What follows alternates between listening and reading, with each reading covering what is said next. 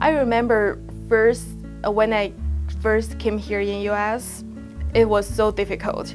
Like I don't understand how the education system works here. I didn't know how to register for class, how to uh, write a paper, uh, how to even like make appointment with my professor.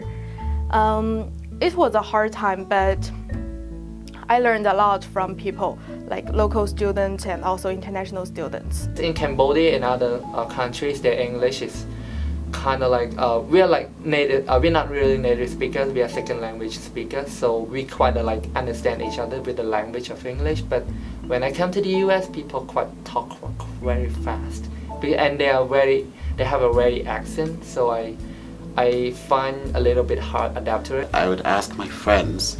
Um, when I meet them in class or somewhere on campus how they were doing and I would immediately transition to ask about how their families were doing.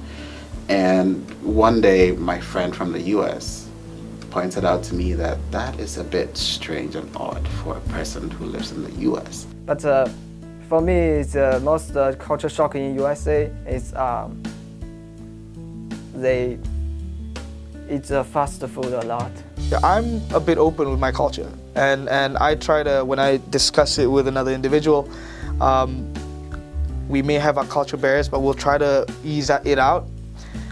Although I still believe with that cultural barrier, it's still difficult to interact with them.